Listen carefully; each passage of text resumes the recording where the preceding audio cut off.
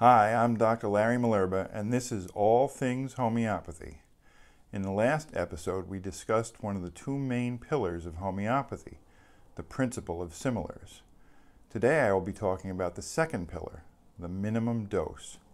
When Dr. Hahnemann began to investigate potential homeopathic medicines, he was naturally concerned about their safety. So he reduced their dosages in order to minimize the possibility of toxicity. Much to his surprise, while the lower doses made his medicines safer, it did not diminish their homeopathic effects. For example, it was Hahnemann who first used the ipecac plant as a medicinal substance. Until recently, syrup of ipecac was still used by mainstream medicine in cases of accidental poisoning. Its ability to induce nausea and vomiting came in handy when there was an urgent need to empty the contents of the stomach. But Hahnemann used ipecac for the opposite reason. While Western medicine used ipecac to cause nausea and vomiting, Hahnemann used it to treat the very same symptoms. He found that by giving very small doses, he was able to avoid ipecac's unpleasant effects while maintaining its homeopathic power. As Hahnemann had discovered, the paradoxical effect of homeopathic ipecac, also known as ipecacuanha, was completely dependent upon the dosage used. Hahnemann, in fact, lowered the dosages to such an extreme that his contemporaries began to doubt his methods. They believed the doses were far too small to be able to produce either toxic or therapeutic effects. Although his detractors based their skepticism on conjecture, Hahnemann's personal experiences repeatedly confirmed his original hypothesis. Very small doses of substances capable of causing symptoms similar to an illness had the paradoxical ability to heal that illness. Thus, we arrive at the two foundational pillars of homeopathy. The most effective medicine is the similar medicine administered in the minimum dose necessary to achieve its purpose. To this day, uninformed skeptics rail against homeopathy claiming that homeopathic medicines are nothing more than placebos.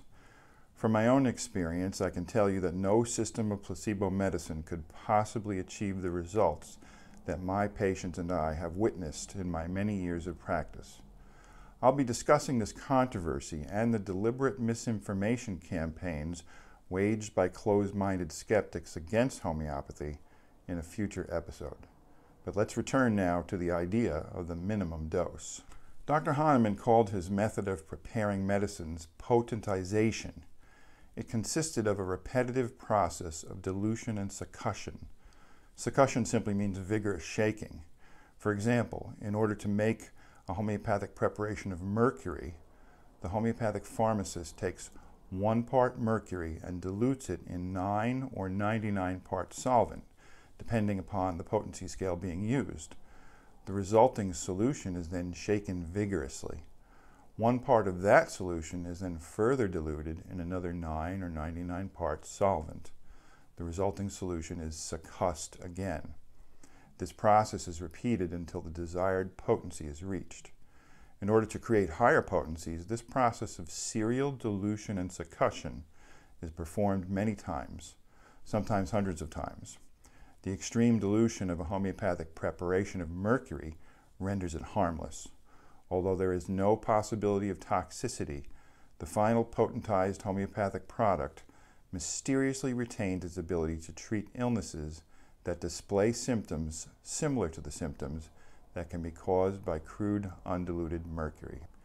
In addition to preparing his medicines, Dr. Hahnemann had to develop a method by which to study them.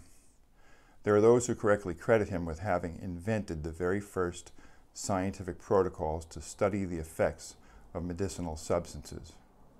Hahnemann called them provings.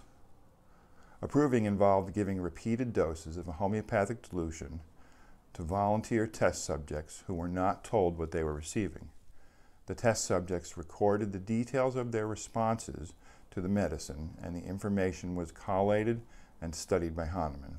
In this way, a symptomatic profile of each remedy was established.